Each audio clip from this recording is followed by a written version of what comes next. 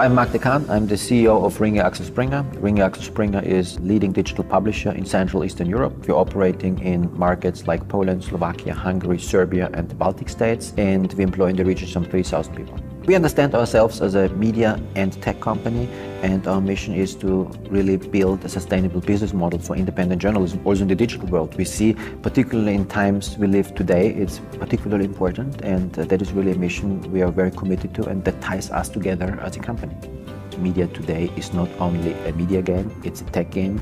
And uh, unless you are really very familiar with uh, the big trends like AI, machine learning, you will not get the potential you need in order to make your business successful in the future.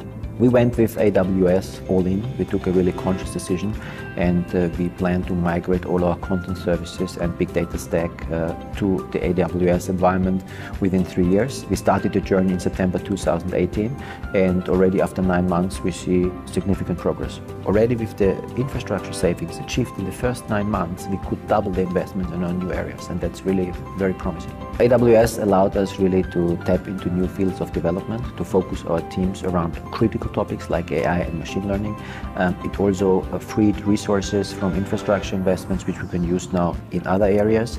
And uh, on top of that, uh, for our Ring publishing platform, which is uh, our ecosystem of leading media technologies, uh, we have taken a maturity leap, which allowed us now to go to market. So we've really opened through that an opportunity to earn new revenues. AWS enables us to tap the full potential of cloud technologies. Uh, it's a very wide range and particularly in critical areas which are success critical for the future like AI, machine learning, uh, data analytics, you name it, uh, it gives us a substantial advantage, something we wouldn't have been able to develop ourselves.